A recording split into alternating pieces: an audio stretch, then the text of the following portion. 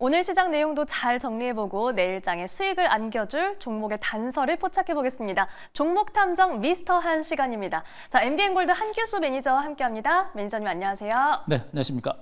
네, 오늘도 좀 오락가락 하다가 네. 결국은 조금 숨 고르는 그런 시험 시장의 모습을 보여줬는데요. 오늘 시장 정리 바로 해보겠습니다. 오늘 시장의 증거 확인해 보시죠. 네, 오늘의 증거는 트럼프라고 남겨주셨습니다. 인물 이름은 처음이네요, 또. 그죠? 음, 트럼프다라는 것보다는 이제 트럼프를 중심으로 해서 오늘 시장은 전반적으로 모멘텀 관련 주 중심의 반등장이 이 상대적으로 강했던 하루였다 보시면 될 것 같습니다. 네. ASML의 실적 쇼크에 반대로 이제 TSMC가 이제 어닝 서프라이즈를 발표를 했고요. 여기다가 아마존이 이제는 데이터 센터 운영을 위해서 원전 사업에 진출한다는 그런 소식들. 자, 여기에다가 지금 현재 뭐 트럼프의 지지율이 에, 다시 에, 회복세를 보이고 있다라는 것이고 트럼프가 당선될 수 있는 가능성이 높다라는 그런 소식들과 더불어서 어, 트럼프 트레이드 관련주들이겠죠. 뭐 반도체라든가 원전이라든가 이런 그 뭐 조선이라든가 이런 종목구들의 동반 반등 장세가 아, 연출된 상태로 보시면 되겠습니다. 아, 일단 뭐 트럼프의 이제 당선 가능성이 높아지면서 관련주가 강세를 보였다라고 언급을 드리고 있습니다만 뭐 원전주 같은 경우는 뭐 아마존이라든가 이런 종목군들의 어떤 어, 이슈가 부각이 됐었던 부분들이 있겠고요. 또 방산주들 같은 경우는 또 호실적에 대한 어떤 기대감들까지도 이제 부각이 되면서 여러 섹터를 중심으로 모멘텀들이 가- 갑자기 등장했고 그런 네. 등장에 의해서 오늘 증거 시장의 전체로 봤을 때는 그래도 근래 들어서 괜찮았던 그런 장세가 아니었나라는 그런 생각을 좀 해볼 수가 있는 상태입니다. 아, 이런 가운데 아, 일단 오게티가 되는 부분들은 외국인들의 매도가 계속 진행이 됐다는 것이겠죠. 외국인들이 오늘 코스피 시장에서 역시 4천억 이상의 매도가 진행되면서 삼성전자 중심의 매도가 멈추질 않고 있는 이런 상태입니다. 이것이 시장에 상당한 부담으로 작용하고 반면에 그나마 투신과 연기금, 기타 법인 등 최근에 언급드렸던 기관들의 매수가 진행되면서 언급드렸던 섹터들 그리고 일부 종목들의 선별적인 반- 반등세가 진행이 된 것으로 보시면 되겠죠. 따라서 전반적인 오늘 시장의 흐름은 시장의 흐름 자체가 크게 변했다라기보다는 모멘텀에 의한 반등 장세가 연출됐다 이렇게 정리를 어, 해드릴 수 있을 것 같습니다. 네, 모멘텀에 의한 반등 장세다 이렇게 정리를 해주셨는데요. 그렇다면 내일 시장은 어떤 흐름을 보일지 내일의 단서도 만나보겠습니다. 내일의 단서는요? 네, 수급 그리고 종목이라고 남겨주셨습니다. 사실 앞서서도 이 선별적인 장세를 얘기를 해주셨고 요즘에 이 수급을 보면 참 선택과 집중이 뚜렷하다 이런 생각 그렇죠. 들거든요. 어, 언급드렸듯이 이제 요즘 장세가 좋은 종목들이 많이 있어요. 많이 있는데 그들 종목이 올라가려면 수급이 살아나야 되는데 수급이 따라주지 않았던 그런 상태였는데 이제 그 종목군들이 수급이 좀 따라주면서 주가가 좀 움직이는 이런 형태가 좀 진행이 되어 있습니다. 네. 전체적인 시장의 큰 흐름에 또 영향을 주려고 하면 더 큰 호재가 좀 있어야 되는데 자 그림을 좀 하나 아, 준비했는데요. 그림을 한번 보면서 제가 설명을 드리겠습니다. 자 삼성전자와 관련된 부분이 좀 해소가 되어야 국내 증시가 반등 기대감이 좀 커질 수 있는 가능성이 높다 보시면 되겠죠. 지금 시장에서 나오고 있는 얘기 중에 하나가 자 미국 언론에서 엔비디아가 TSMC 의존도를 줄이려는 조짐이 나오고 있다라는 얘기가 나오고 있습니다. 아시다시피 지금 이제 엔비디아의 그 HBK라든가 이런 아, 인공지능 칩이 TSMC의 거의 뭐 물량을 다 주고 있는 이런 상태입니다. 이러다 보니까 앞으로 이제 어, 블랙에를 중심으로 어, 제품이 만들어지고 있는데 수율이 조금 안 나온 것 같습니다. 그래서 그, 그러면서 지금 이제 엔비디아와 TSMC가 서로 내타 내타 공방을 하면서 약간씩 이제 분열 조짐이 좀 나오고 있는 그런 상황이라고 보시면 되겠죠.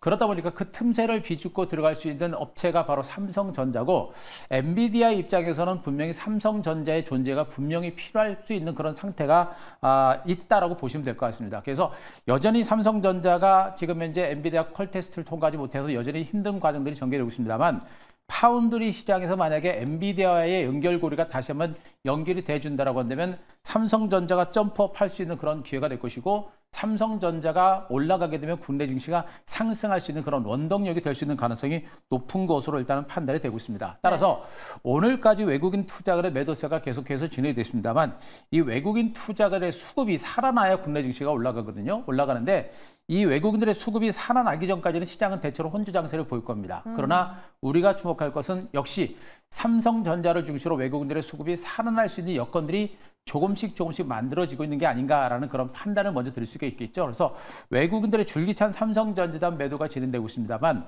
엔비디아와 TSMC 간의 사이가 좀 간격이 벌어지고 있는 상태고 역시 엔비디아 입장에서는 삼성전자의 존재감이 분명히 필요한 위치고요. 그리고 삼성전자도 어, 컬, 테스트를 통해 어, 통과를 통해서 HBM 시장에 본격적으로 진출할 수 있는 가능성은 여전히 남아 있습니다. 이런 부분들 볼 때 조만간의 시장은 저점을 찍고 움직일 수 있는 가능성이 상당폭 높아지지 않을까. 라는 기대감은 우리가 분명히 가질 필요가 있겠다는 측면이겠고요. 그런 기대감 속에서 만약에 외국인 수급이 살아난다고 한다면 국내 증시도 살아날 수 있는 여건들은 분명히 존재한다라는 점을 보시기 바랍니다. 자, 그리고 또 한 가지는 지금 이제 종목군들의 흐름이 뭐 트럼프 뭐 트레이드 관련주들의 움직임도 상당히 강합니다만 지금 저는 트럼프 관련주들보다는 실적과 수급에 따라서 종목을 좀 보시는 게 맞습니다. 트럼프 관련주들 올라오긴 했습니다만 여전히 지지율 자체가 박빙인 상태고요. 실질적으로 미국의 대선이 어떤 결과를 만들어낼지는 지금으로서는 거의 안개 속이라고 보시면 되겠죠. 이런 부분들을 보게 되면 아직까지는 트럼프 트레이드 관련주를 너무 쫓아가는 그런 매매보다는 역시 실적과 성장성 있는 상태에서 기관들의 수급이 살아나는 이런 종목 중심으로 보시는 게 좋다라는 측면이겠고 당분간 최근 같은 이런 종목 장세가 좀 더 진행될 가능성이 높다는 점도 포커스를 맞추시고 보시기 바랍니다. 자, 기관 투자 거래가 순매수 종목 그림을 잠깐 보면서 어, 다시 한번 설명을 드리겠습니다. 네.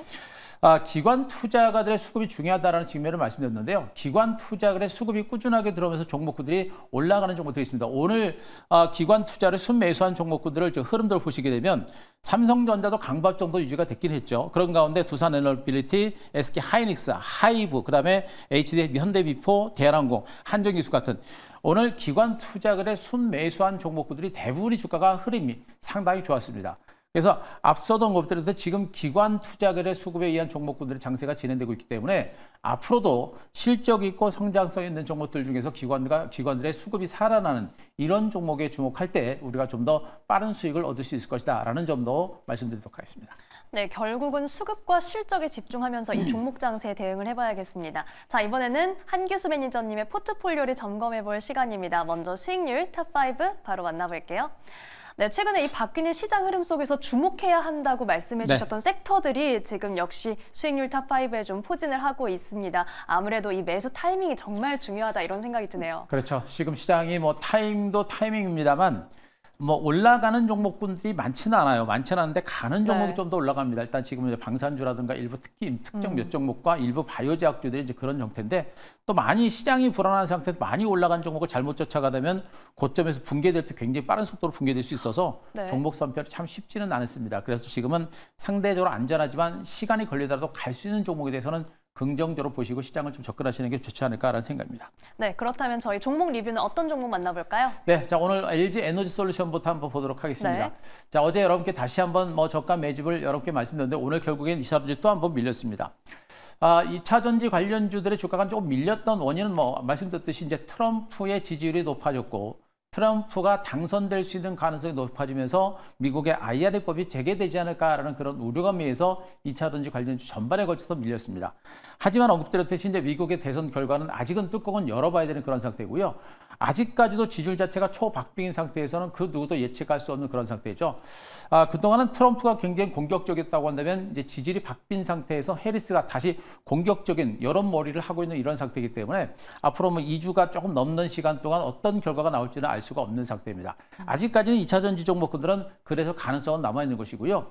아, 그리고 제가 말씀드렸듯이 2차 전지 관련주는 만약에 트럼프가 당선이 된다고 하더라도 2차 전지, 이, 그 미국의 전기 자동차 시장 자체를 붕괴시킬 수 있는 그런 정책을 내놓지는 않을 것이다 라는 점을 말씀드렸죠. 전 세계적으로 2차 전지 전기 자동차 시장은 대세입니다. 대세기 때문에 미국의 전기 자동차 시장을 어, 트럼프가 뭐 어, 기존 내연기관 자동차 시장을 확 막 바꾸려는 그런 정책들을 펼친다고 한다면 미국의 전기자동차 업체들은 완전히 도태될 수밖에 없는 그런 상태가 될 겁니다. 이런 부분들 보게 되면 2차 전지 관련주의 주가 조정은 우리가 최악으로 본다고 하더라도 대대적인 폭락 가능성은 높지는 않다라는 것이겠고요. 그리고 아직까지 여기서 만약에 대선에서 해리스가 만약에 당선된다라고 한다면 2차 전지 레이스의 주가 반등세는 생각보다 빨라질 수 있다는 것도 우리가 분명히 보시고 아직까지는 포기하기보다는 아, 포기하기보다는 관망하시고 들고 계시면서 자, 매수 포인트를 잡아가는 이런 전략이 필요하다라는 점 말씀드리겠습니다. 네. 자, 한 종목 더 보겠습니다. 큐리옥스 바이오 시스템을 보겠습니다.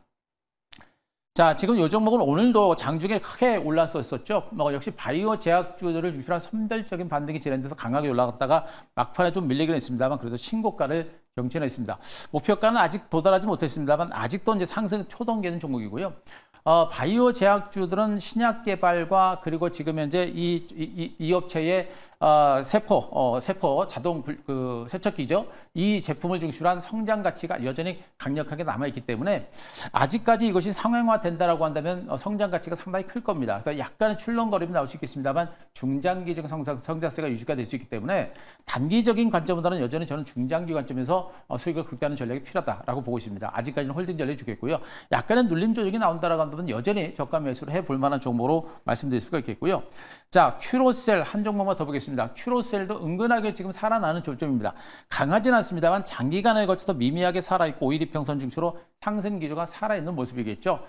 어, 지금 현재 큐리옥스 바이오 시스템도 그렇고 큐로셀도 그렇고 지금 상품에 대한 기대치가 상당히 커지고 있는 겁니다. 시장 상용화에 대한 기대치가 상당히 커지고 있는 그런 부분들이기 때문에 그것이 이제 주가 반등의 원동력이 될 수 있겠고요. 아직까지는 개별적인 성장 가치가 상당히 크기 때문에 우리가 아직은 보유하는 전략이 좋겠고 아직까지는 매수 관점의 대응 전략을 펼칠 만한 종목입니다. 지금 가느냐 좀 늦게 가느냐 그런 차이다라고 말씀드렸죠. 시간을 가지고 충분하게 접근해 볼 만한 종목으로 다시 한번 말씀드리도록 하겠습니다. 네, 오늘의 종목 리뷰 먼저 LG 에너지 솔루션은 홀딩 관점 주셨고요. 이어서 큐리옥스 바이오 시스템즈와 큐로셀 아직은 상승 기류 초반이다라고 분석해 주셨습니다. 자, 그렇다면 종목 탐정 미스터 한 내일은 어떤 종목에 주목하면 좋을지 내일의 발견 종목 만나보겠습니다.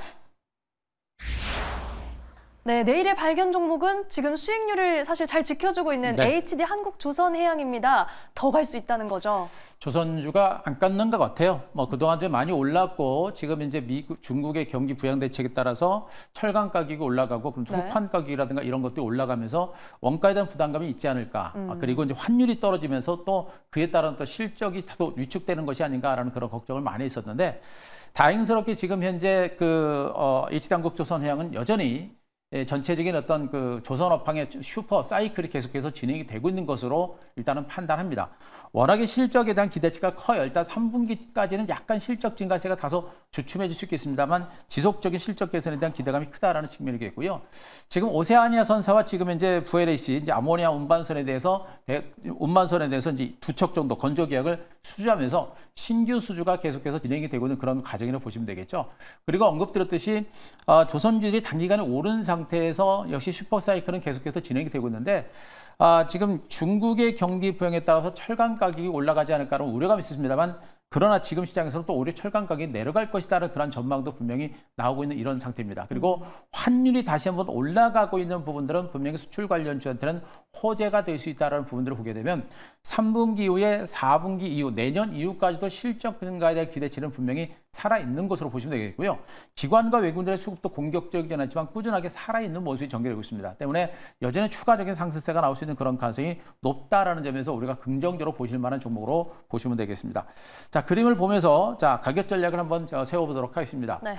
조선주들이 조금 무겁습니다만 HD 한국조선해양은 조선주의 대장주입니다. 대장주기 때문에 아, 조선주들의 오늘 뭐 HD 현대 미포조선이 상당히 강했죠. 제가 여러분께 조선, 조선주들 중에서는 HD 한- 한국조선해양과 현대 미포조선 두 종목을 좀 더 강조드리고 있습니다만 역시 현대 미포조선과 더불어서 이 종목은 대장주 업종 대표주 맥락의 종목으로 보시면 됩니다. 올해 어, 전체 수주가 모두가 다 아, 수주가 완, 완벽하게 된 상태, 초과 수주를 한 상태에서도 추가 수주가 계속해서 진행이 되고 있는 모습이고 3년치 이상의 일감을 다 수주를 했던 부분들을 보게 되면 시장 주변 여건 자체가 급격하게 나빠지지 않는 이상은 추가적인 상승가 나올 수 있는 가능성이 높은 것으로 판단하고 있습니다. 그래서 현재 주가가 지금 현재 16만 원, 18만 원 정도 선에서 횡보세가 나오다가 미미하게 반등이 나서고 있는데요. 대형주 들의 주가 특성상 급격한 상승보다는 점진적인 반등세가 나옵니다. 그래서 급격한 상승보다는 점진적인 가능성에 대비해서 아직까지는 보유 전략감 개척과 매수 전략을 해볼 만한 종목으로 말씀드릴 수가 있겠고요. 자, 매수 가격은 오늘 종가 19만 7천 원 정도 제시를 드리고요. 자, 목표가 22만 원, 자, 손절가 18만 원 제시를 드리도록 하겠습니다. 네, 조선 대장주 HD 한국 조선해양 목표가 22만 원 제시해 주셨습니다. 다시 한번 주목해 보겠습니다. 자, 매니저님 저희 매니저님 방송 외에도 만날 네. 수 있는 시간 안내 부탁드립니다. 자, 이제 무료 방송을 이제 준비를 하고 있는데요. 제가 오늘은 이제 안 했고요. 이제 내일 장 끝나고 3시 50분에 이제 무료 방송이 또 한번 준비가 됐습니다. 시장이 많이 복잡합니다만, 아, 저는 여기에서 위기다라는 관점보다는 기회다라는 관점으로 계속해서 말씀드리고 있고, 또 그 관점에서 우리가 집중해야 될 종목에 대해서 시황보다는 종목에 대해서 집중하는 그런 전략을 말씀드리고 있듯이 종목을 중심으로 말씀드릴 겁니다. 내일 장 끝나고 3시 50분에 무료 방송 어, 참고하시기 바랍니다. 네, 내일 금요일인데 내일 장 마감 후에 해주시는 거죠? 네, 그렇습니다. 네, 알겠습니다. 우선 내일 오후 3시 50분 장 마감 후에 유튜브에 한 교수 검색하고 매니저님 만나보시기 바랍니다. 자, 오늘 말씀 여기까지 듣겠습니다. 지금까지 MBN 골드 한 교수 매니저와 함께했습니다. 고맙습니다.